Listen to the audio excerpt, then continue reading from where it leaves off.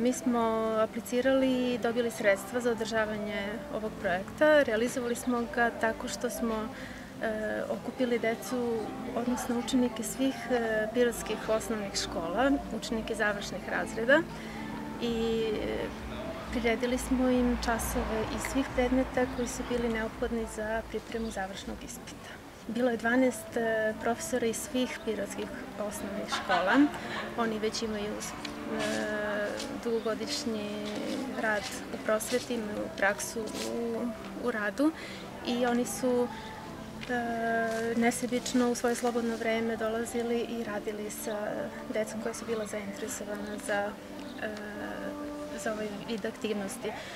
Jedan od ciljeva našeg projekta jeste bio da deca e, dobiju veće znanje koje im je potrebno za polaganje završnog ispita i svih predmeta.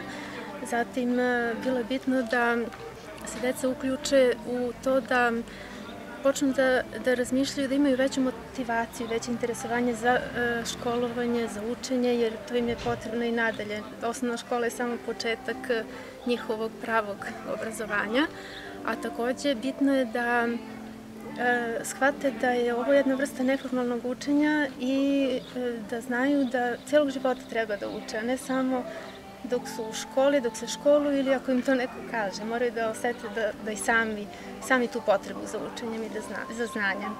A kao što vidite danas ovde je jedno druženje sa decom. Profesori ponovo jedva čekaju da e, deca dođu, da ispričaju svoje utiske uopšte o samom našem projektu i o tome e, da li su uspeli da upišu željenu školu, što je prvenstveno bio naš cilj, da im pomognemo u tome i da im poručimo da svi profesori, odnosno nastavnici iz osnovnih, srednjih, iz osnovnih škola, e, da mogu da računaju na nas i u buduće, i u ljudskom i u profesionalnom smislu, da bilo kada ako imaju neki problem da mogu da nam se obrate. S obzirom da je projekat, odnosno učenje dece bilo besplatno, kakav je odziv mališa, odno, učenika bio? To je jako važno. Da li ste time zadovoljni? Tako je, odziv učenika je bio odličan.